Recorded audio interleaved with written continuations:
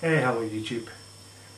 Uh, this is going to be a video and it's going to be uh, my history of gaming. Uh, see there's a few videos up.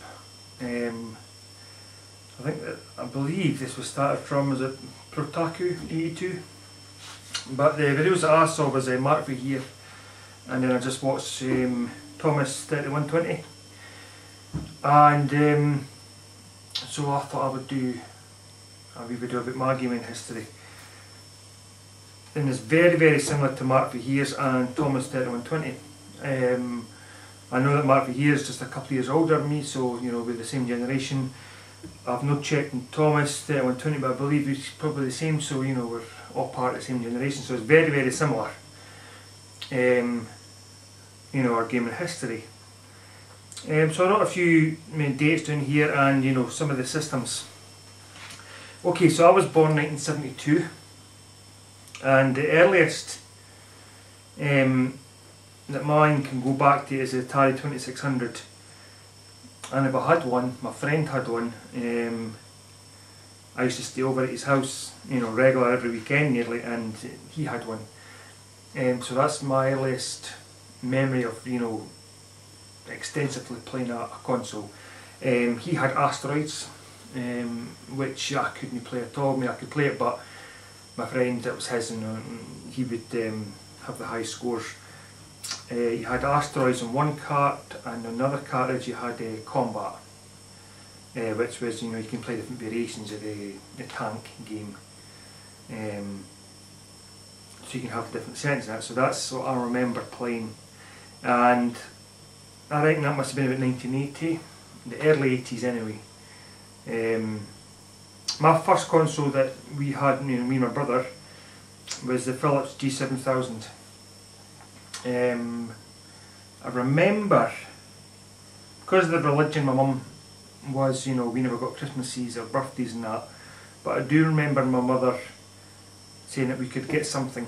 Um, and I should have just went for the Atari, but not knowing when you were, you know, 10, 11, 12 year old, and I, looked, I remember looking through the catalogue, and the Philips G7000 had a keyboard with it. Well, you know, it was a touch keyboard, and I remember picking that simply because I thought the keyboard looked cool. Um, so that was what we got. We got there was two games. Well, there was one cartridge that came with it, but there was two games on it. There was a a shooting game uh, one was a submarine and one was a ship and you had to shoot each other, so it was a two-player game. Another game on it was a variation of combat. Um, I can't remember what it was called, but it was basically exactly the same. You had two tanks and you have different variations of that game on it. Um, and my mother never ever bought any other games after that. Um, money constraints and that. So, you know, we played day two games to death. Um, so after that, we're talking about 1986. I was um, 13, 14. My mother uh, married again and well, we were lucky in the sense that he had a Spectrum Plus and um, and he had you know over a hundred games for it but he had played them all and they were just sitting in the, the wee study so me and my brother, we were given this. So we were given a Spectrum Plus, which we were wanting. That's what we were, and we were trying to save up to buy was a Spectrum Plus because you know at school at that time, you know just like how Mark here and Thomas said, everybody had a Spectrum or a Commodore. And then the very there was a very I mean we had add one person at school here at Amstrad, um, but you know it was a Spectrum and a Commodore. And so we were wanting a, a Spectrum, and then you know my mum met some we ended up getting mad and here Spectrum are over 100 games that me and my brother got so that was just amazing because we had the Spectrum Plus and we had all these games already. There sitting so we, it took us ages to go through all these games. Um, you know and I remember playing games like Hungry Horace, Jet Set Willy, uh, Manic Miner um, and one of the games that we played I bought a baseball game, Hardball 3 and me and my brother played that all the time. I thought it was the most amazing game ever. And also remember playing The Hobbit which was a text adventure, role-playing adventure.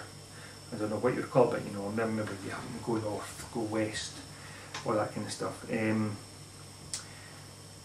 and also he had my stepdad, he had just bought a new computer, and that's why the Spectrum was, you know, given to us. He had just bought the Atari ST, and it was a 1040 model, and he had a couple of games for it.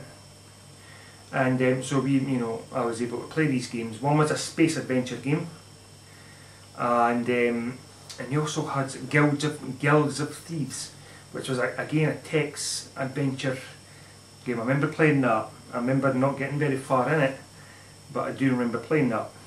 And in later years, as um, you know, they were able to. Um, we went to a friend's house, and he had an Atari ST, but it was a 520 model. But his dad was able to get, you know, copies of games on discs, um, you know, pirated games.